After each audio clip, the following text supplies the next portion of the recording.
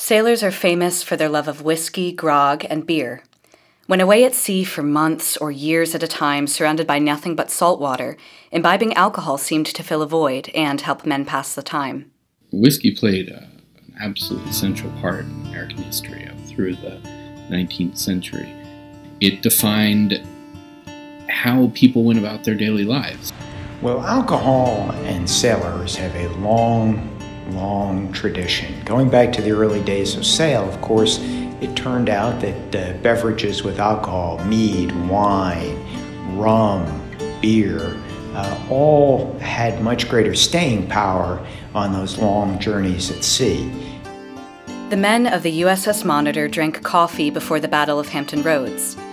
But during the battle itself, Captain John L. Worden ordered Paymaster William F. Keeler, a teetotaler, to give each man half a gill of whiskey.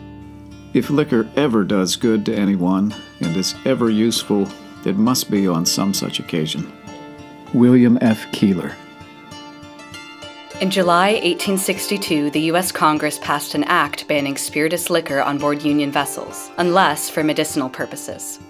The ban would take effect on the 1st of September. No additional liquor would be allowed aboard ships after that date, so some ships' commanders loaded their ships with as much whiskey as they could. The commander of the Monitor ordered three 40 gallon barrels to have on board. One sailor remarked, That is enough to last us one year. Most of the men on board the Monitor were unhappy with this new law, but at least one liked it. There are three great evils in both our Army and Navy, which, if corrected, would render them much more efficient the first is whiskey, the second is whiskey, and the third is whiskey.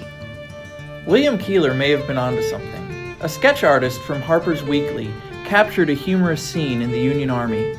A drunken soldier being punished in camp by having to wear a barrel painted with the words, Too fond of whiskey. A crowd gathers around the poor fellow, whose head pokes out of the top of the barrel. One clever comrade doffs his cap and greets the convict, saying, how are you, Monitor? While another onlooker jokes, Where's the Merrimac? The editors of Harper's opined, Thus accoutered, the miserable fellow is the butt of the scoffs and jeers of his comrades for a day, and learns a lesson which ought to teach him the virtue of temperance for the rest of his life. Unlike Keeler, most sailors were probably angry about their lost whiskey ration. It is a miserable law, and our wise men in Congress had better devote their time to matters of more importance. George White, Third Assistant Engineer, USS Monitor. The daily grog ration was often the high point of a sailor's day. It was a bright spot in the monotony of shipboard life. Sailors considered it their right. It was a dark day indeed when Secretary of the Navy Gideon Welles issued a general order outlawing distilled liquors on board Union vessels. Now, the order was to take effect on the 1st of September, 1862, so perhaps the importance of grog to the men can be summed up best by this anonymous poem written the day before, the 31st of August, 1862. It goes like this Oh, messmates, pass the bottle around, our time is short, remember, for our grog must stop, our spirits drop on the first day of September. Although their grog ration was gone, sailors on the Monitor and other Union ships likely found other ways to get their fix. Bottles of hair tonic and bitters found on the wreck of the Monitor may be examples of attempts to circumvent this ruling. And, of course, nothing could stop sailors from drinking when they went ashore. On Christmas Day, 1862, some of the crew of the Monitor had leave to go ashore at Hampton Roads, where they encountered the crew of four British vessels that were in port. Initially, the men mingled together and seemed to get along well, but soon things took a turn for the worst. The parties got too much whiskey, and a fight would have to decide who was the best man of the two. There seemed to be a sort of general mass black eyes, bloody noses, and battered faces seeming to predominate. The soldiers running here and there, and the guards busy carrying drunken fighting soldiers off to the lockup in the Fortress Monroe. William F. Keeler.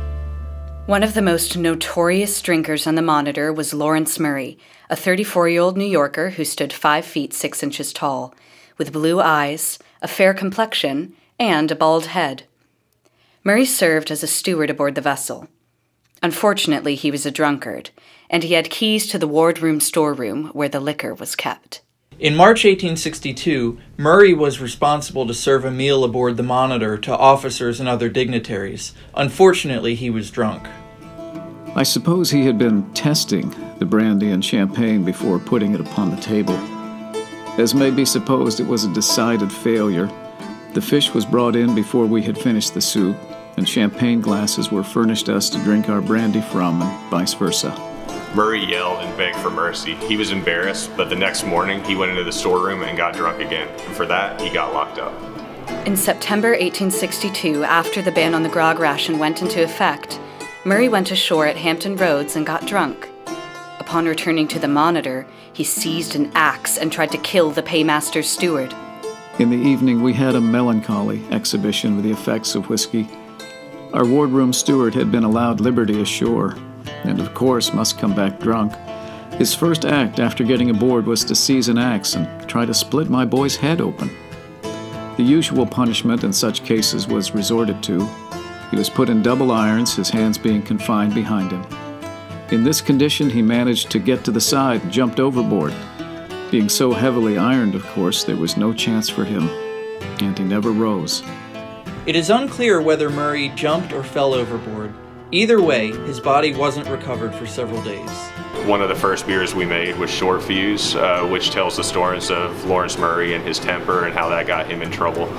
In fact, the Monitor and Virginia have inspired liquor producers for more than a century. In the 1890s, J.C. Childs and Company advertised Monitor Blend Pure Rye Whiskey as a scientifically blended and excellent product of the still that has medicinal and tonic virtues. In a major ad campaign in 1912, the Duffy Malt Whiskey Company of Rochester, New York, used a 72 year old union nurse as their spokesperson. She claimed that her doctor had recommended drinking whiskey to improve her memory. And now, she said, I can remember things that happened as far back as the Battle of Hampton Roads between the Monitor and the Merrimac. Duffy ran this ad in newspapers from Boston to New Orleans and from Baltimore to San Francisco and everywhere in between. Recently, the Hampton Roads area of Virginia has seen a renewed interest in the Monitor's connection to sailors' favorite libations. Uh, when we first opened the brewery, we were challenged by uh, the Fort Monroe Authority to come up with a name that um, was historically significant to the fort, so that way we could tell a story of the fort, but also um, you know, sell some good beer alongside with it. As we settled on the name Oozlefinch and we started researching more of the history here on Fort Monroe, we just fell more in love with it and we wanted to tell that story more than just through the name of the brewery, but also through the beers that we made. We have a beer called Oxcart That was uh, from the story of Charlotte White, um, who used to pack her oxen car full of pies and bring them on the base and sell them to the soldiers. We have also named some beers uh, after uh, Benjamin Butler, who uh, uh, who was a general here um, on uh, Fort Monroe. We had the opportunity to go into the Casemate Museum and harvest some yeast from uh, his Tiffany and Co. dinner chest that that uh, he had with him. Uh, our chemist swabbed the swabbed the chest and was able to pull a, a living uh, yeast cell off of uh, the lock that was on the chest. Um, she cultivated it up, grew it, and we're on our third beer with it now. We went kind of more from just telling stories with with the beers to also being able to drink a piece of history. In addition to Oozlefinch, the Ironclad Distillery opened in Newport News in 2015 in a historic warehouse within view of the old historic battle site between the World War I Victory Arch and Newport News City Hall. We uh, started the distillery in 2015. It's me, my brother, and my dad, so it's a family run business, and we have committed to only making bourbon. So we have um, five expressions of bourbon right now, and we named ourselves Ironclad because we would have actually had a front row seat to the Battle of the Ironclads in 1862 if this distillery was standing on that day. So we like to tell that story through our products and in our tasting room and in our distillery. So if you actually take one of our bottles and peel the label back, um, it reveals the blueprint of the USS Monitor on our flagship small batch bourbon. Um, and then if you take our straight bourbon and peel the label back, it reveals the CSS Virginia. So you get a little history with your whiskey here at Ironclad. To learn more about the ironclad vessel that has inspired libations for more than a century, order Our Little Monitor, The Greatest Invention of the Civil War, by Anna Gibson Holloway and Jonathan W. White, published by Kent State University Press in 2018.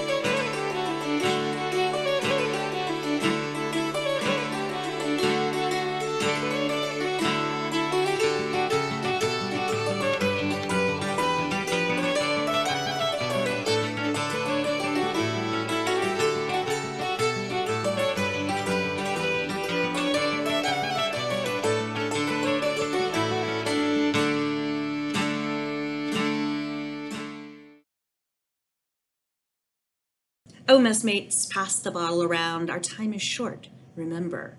For our grog must stop, our spirits drop on the first day of September.